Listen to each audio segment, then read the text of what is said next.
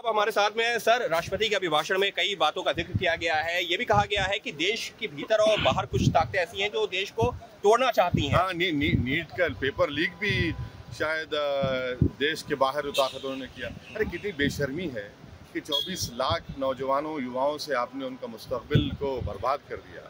उनको रातों की नींद उनकी हराम कर दी उनके माँ बाप परेशान हैं। इस प्रेजेंट एड्रेस में कम से कम अपनी ज़िम्मेदारी को कबूल करते हुए कि आपकी वजह से पेपर लीक हुआ, मोदी सरकार की वजह से, आप ऐलान कर दे, हम दोबारा नीट करवाएँगे। ऊपर से आप ये सब बकवास कर रहे हैं। और बीजेपी अभी भी इस बात को नहीं समझ रही है कि ज़मीन पर बीजेपी नहीं आई। अभी बीजेपी हवा में उड़ रही है कि आपके पास अब मैंडेट नहीं रहा। आपके पास नंबर ज़रूर है सरकार बनाने का, मगर आपके पास मैंडेट अपोजिशन पार्टी के पास है, जो उनसे ज़्यादा वोट हासिल किए। तो तीसरी बात यह है कि हाँ, लेकिन कैसे ज़्यादा हासिल किया? क्योंकि बीजेपी अपने आप ये कह रही है कि हमारे पास सुनिए टोटल ओपोजिशन से ज़्यादा वोट है। सुनिए आपके पास नंबर ज़रूर है सरकार बनाने का। मगर जो परसेंटेज ऑफ़ वोट है वो तो अपोजिशन के पास है। इतना बड़ा अपोजिशन आपके खिलाफ खड़ा हुआ है। आप उसको मानने को तैयार नहीं आप रियलिटी के एक्सेप्ट नहीं चलिए बात करते हैं नीट की। नीट नीट पर जो जवाब दिया है आज आप आप जवाब आप सुन लीजिए आप अभी नीट के बोल दिया। अब तो आपका दूसरा सवाल क्या बोलिए? एक जो है अमेरिकी विदेशी विभाग की रिपोर्ट आई है कि देश का जो माइनॉरिटी है उसके साथ अत्याचार हो रहे हैं देश में। हम यूएस के स्ट्रेटेजिक पार्टनर हैं जी।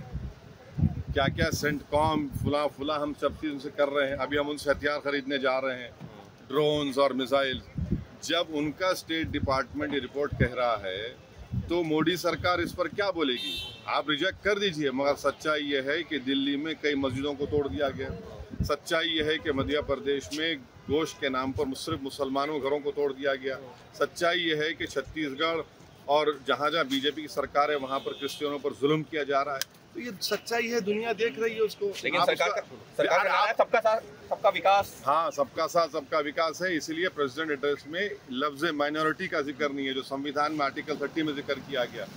यानी साफ़ तौर पर असदुद्दीन ओवैसी जिनका ये कहना है कि राष्ट्रपति के अभिभाषण में कई चीज़ों का ज़िक्र नहीं था सबका साथ सबका विकास का नारा ज़रूर दिया जाता है लेकिन देश में अल्पसंख्यकों के खिलाफ अत्याचार हो रहा है और नीट मुद्दे पर साफ़ तौर पर रीनीट की मांग करते हुए नज़र आ रहे हैं Asaduddin Owaisi. Ankit Gupta, ABP news, Delhi.